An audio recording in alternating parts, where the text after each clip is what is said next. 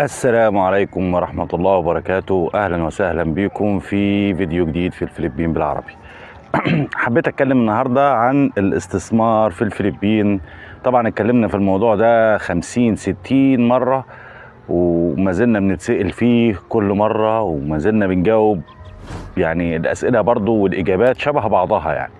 بس حبيت النهارده ان أنا هزيد يعني شوية حاجات كده صغيرة هشمل فيها الكلام اللي إحنا اتكلمناه في البث المباشر وال... والفيديوهات اللي إحنا عملناها والكلام دوت. أول شيء يعني حبيت بس إن أنا تعقيبا للناس اللي بترد على حاجات الاستثمار بالذات أو فيديوهات الاستثمار في القناة. حضرتك في ناس أنا بتكلم آه، بقول مثلا استثمارات آه، بسيطة واستثمارات يعني اللي هي المشاريع الصغيرة والمشاريع اللي هي المتوسطة والفوق متوسطة يعني مش الكبيرة. فأنا بتكلم على حاجات صغيرة بالنسبة للناس أنا قلت عليها قبل كده إن هي في ناس بتكون زي حالاتي الماديات معاها مش مش كبيرة قوي وعايز يجي يقعد مع أسرته هنا وعايز يستقر فهو مضطر إن هو يعمل مشروع صغير.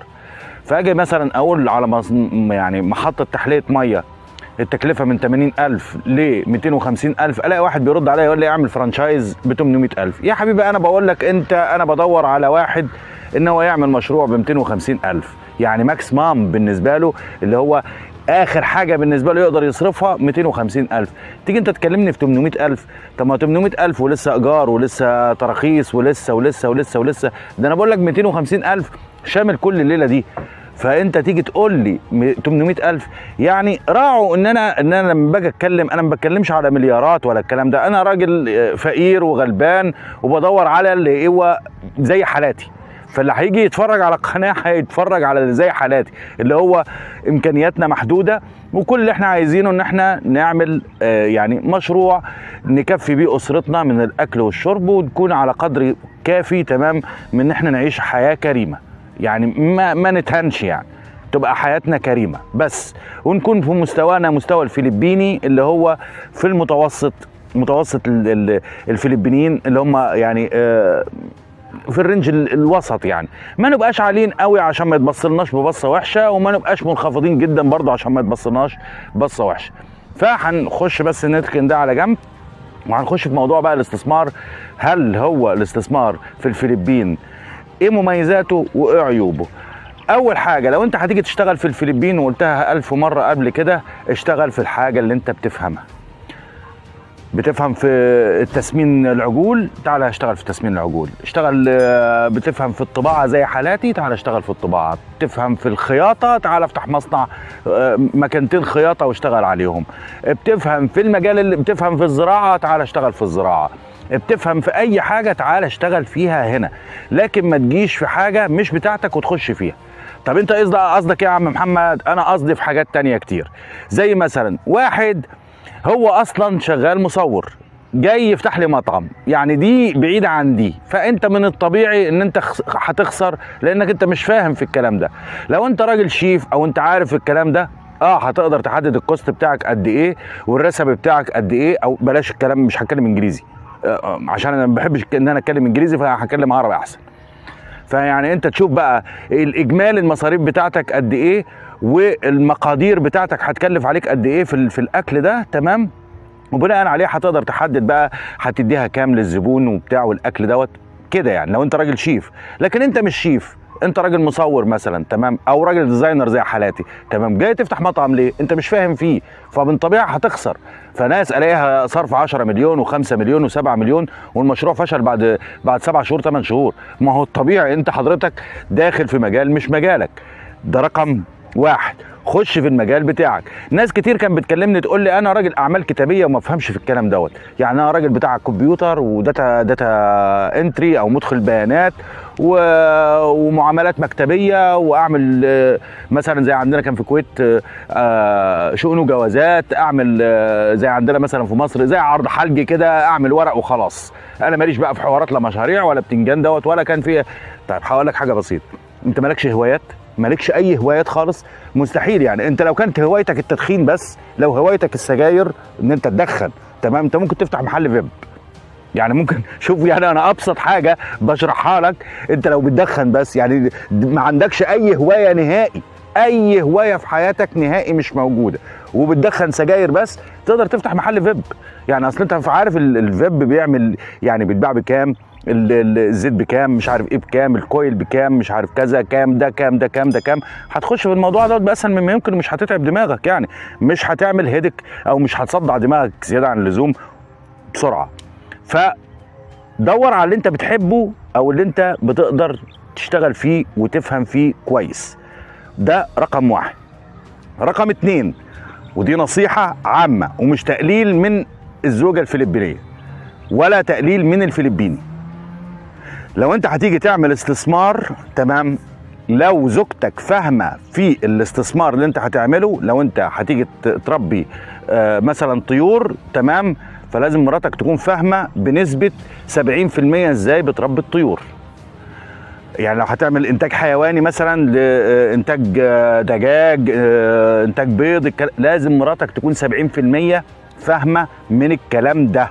لو مش فاهمة فلوسك هتخسرها.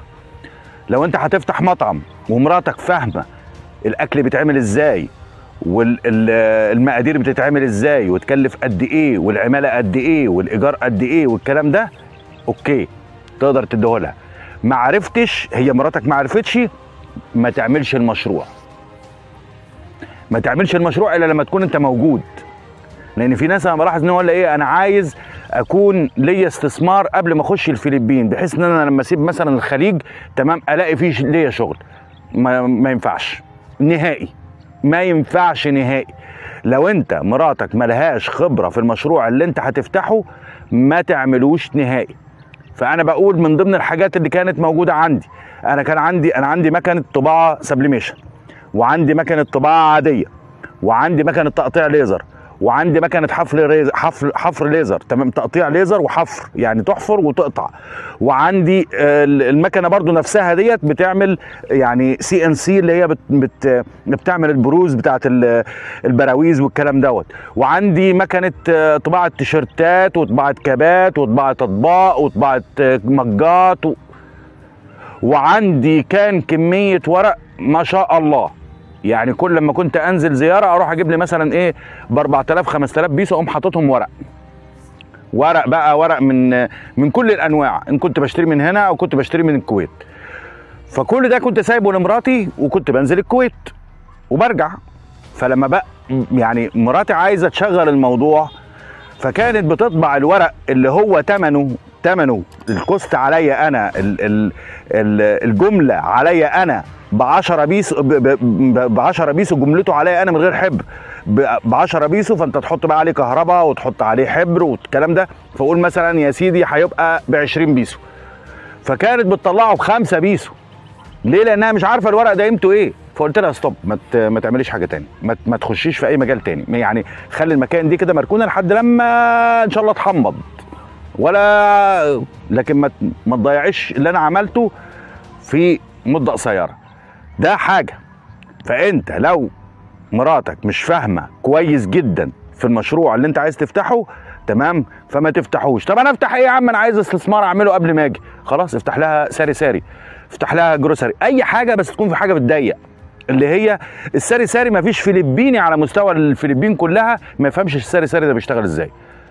مستحيل. يعني لازم هتلاقي كل الفلبينيين فاهمين ال sari-sari شغال إزاي. هي عبارة عن حتة بقالة صغيرة ملهاش أي لازمة يعني. تمام؟ وهتلاقيها هتعمل دخل. هتعمل لك دخل 10000 بيسو 15000 بيسو يوم اضربها الدم قوي يعني. فعايز تفتح لها مشروع قول لها آدي مثلا مبلغ كذا افتحي ساري ساري تمام؟ ومنتظر منك مثلا بعد آه ست شهور المبلغ ده يكون ضعف ونص. وشغلها. خسر ما انتش خسران شيء.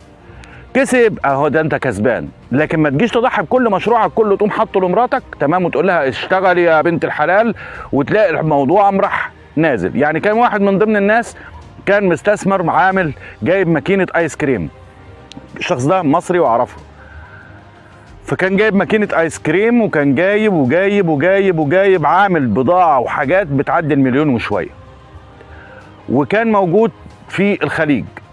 وكان مدي لمراته إن هي تعمل الحاجات ديت وكان متخيل إن هي آه، هو قاعد معاها بس شهر هنا وقام راح قال لها اعملي كذا واعملي كذا ومش عارف إيه وبتاع بس كده افتكر إن هو مراته كده خلاص بقت يعني professional يعني. بعد لما مشي المكنة اتباعت والأغراض اتباعت والدنيا كلها اتباعت وخسر المشروع والمليون اللي هو كان عنده بالبضاعة بتاعته بكل حاجة خسر في كل حاجة. ليه؟ لأنها ما عندهاش فن الاداره ما عندهاش فن إن هي تدير الحاجة ديت.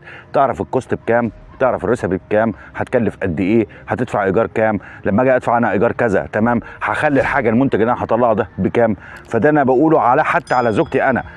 لما جيت أنا بقى هنا وقعدت هنا تمام؟ قعدت مع زوجتي الورقة دي بتتصور كذا الورقة دي بتتعمل كذا الصورة دي بتتعمل بكذا الورقة دي بتتعمل كذا ال lamination ده بيتعمل بكذا.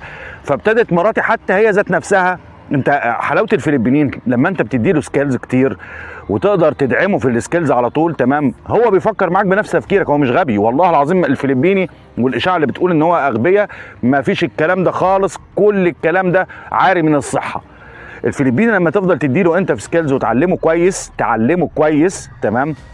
بناء عليه بيقوم يتحول على نفس تفكيرك بل بالعكس كمان بيفكر أعلى منك. okay؟ فإحنا اتفقنا على إيه؟ إن أول حاجة تشتغل في الشغل بتاعك اللي تفهم فيه حتى لو كانت هواية. ليك هواية تصوير اشتغل في التصوير. ما تكونش أنت جاي آه، يعني شغال في شغل تكونش أنت طبيب تمام؟ وجاي لي تفتح مزرعة أبقار يعني و... و... وتقول لي أنا هشتغل في الأبقار. طب أنت ليك خبرة فيها؟ لو ليك خبرة فيها وهواية مفيش أدنى مشكلة. مالكش خبرة فيها ما تخشش فيها نهائي. زي كان في واحد دكتور قبل كده كان داخل لي في البورصة وال يعني هو دكتور. انت مالكش علاقة ب... ب... ب... من انت تخش وما كانش فيه ولا عنده خبرة واحد في المية في حكاية البورصة. فداخل هنا داخل في هنا في الفلبين جاي يستثمر فلوسه في البورصة وفي شراء الأسهم والكلام ده. طبعا هو آه، الحاجات اللي هي فيها بترول مش عارف بيقوم شاريها وبعد كده لما يلاقي مثلا نزل 3% 5% هوب ده بخسر وبتاع ويقوم راح بايعها وهوب فلوسه فضلت على طول كده نازل في طالع نازل في طالع نازل في طالع لحد لما خسر كل فلوسه. والسلام عليكم ورحمة الله وبركاته. فتح في الآخر خالص فتح ساري ساري. طبيب فتح ساري ساري. يعني ما ما ما تتخيلش الموضوع مهم قد إيه. تاني حاجة قلناها إن أنت الزوجة ما تعتمدش عليها كليا في موضوع إن أنت تعمل البيزنس بتاعك وعايزها إن هي تخش فيه.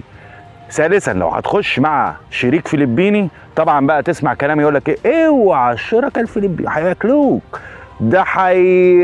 هيستحلبوا فلوسك.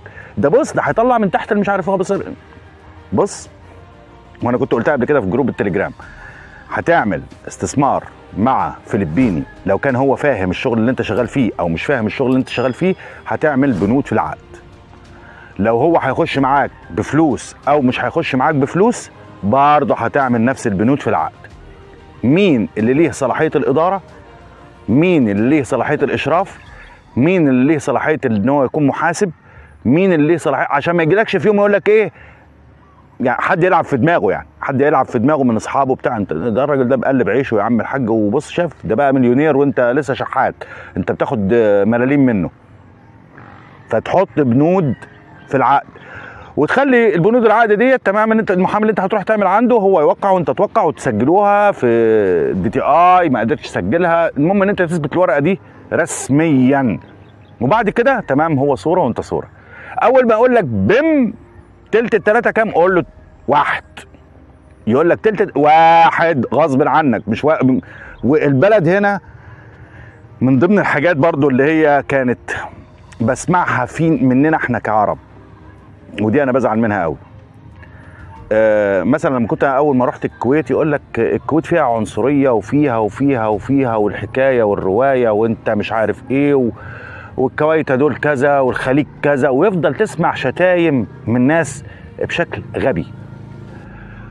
لكن الناس آه لما أنا رحت جربت الكويت وطبعا الظروف اللي أنا أول ما دخلت فيها الكويت بعد ثلاث شهور قمت رافع قضية على كفيلي آه، أنا رافع قضية على كفيلي اللي محدش من الناس اللي بقالهم ست سنين في الكويت قدر يعملها أو كان بيخاف يعملها.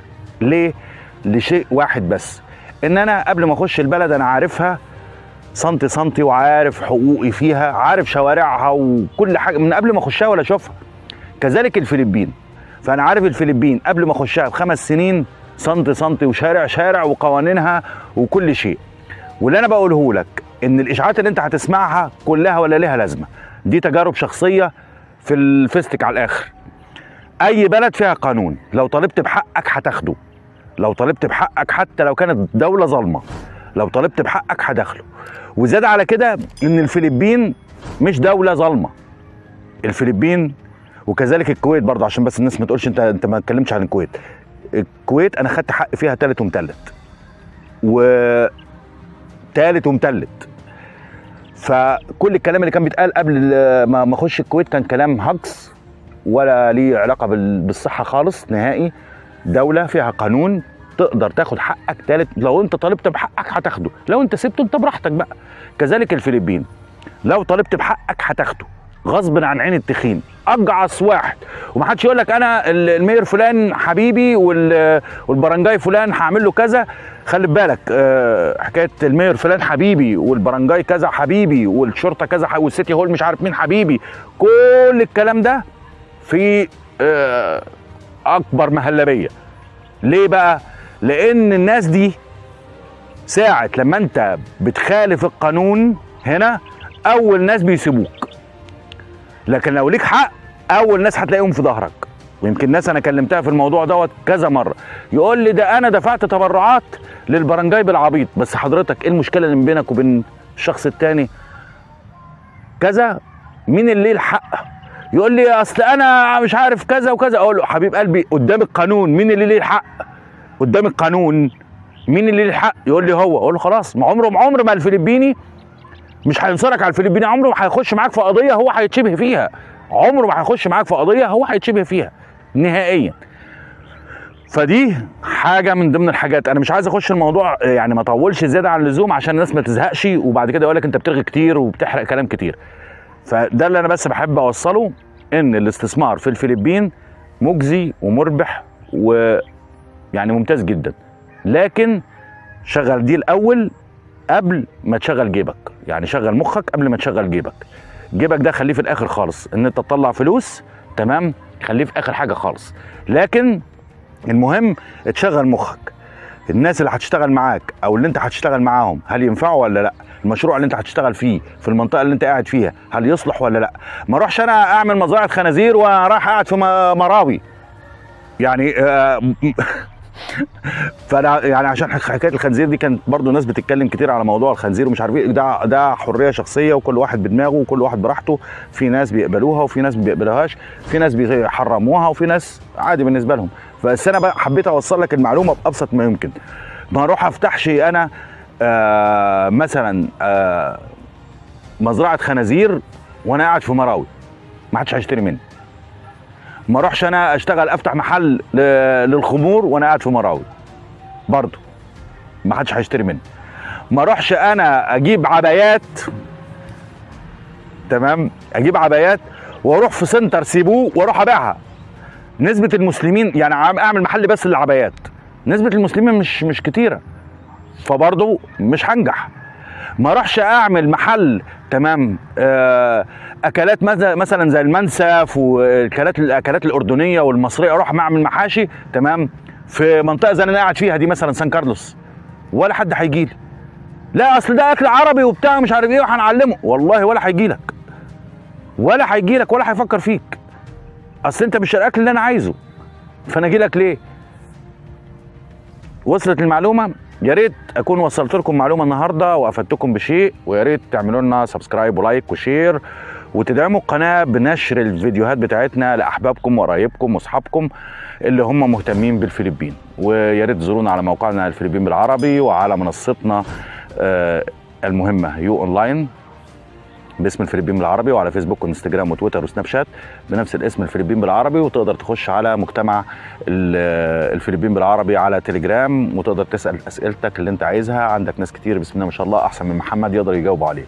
آه، شاكر لكم جدا المشاهده ويا رب تكونوا استمتعتم ونستودعكم الله الذي لا تضيع ودائعه. السلام عليكم ورحمة الله وبركاته.